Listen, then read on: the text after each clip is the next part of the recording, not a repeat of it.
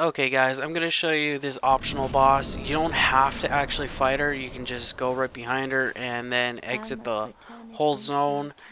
But if you want the dagger or her soul, you have to actually kill her.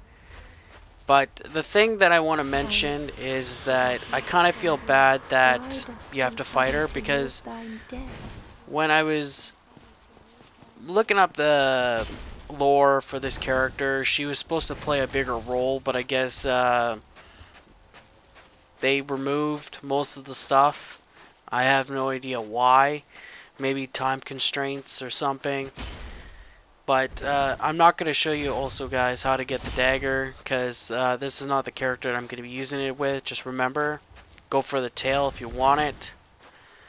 Other than that, this should be pretty easy, especially with my weapon.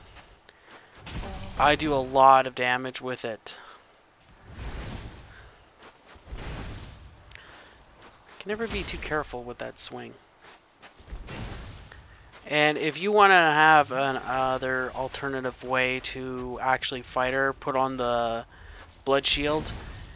It'll give you a lot more resistance to bleed damage.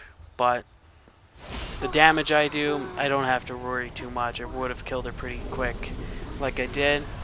Anyway, guys, that's how you do it. Hopefully you found my commentary useful, and catch you all later.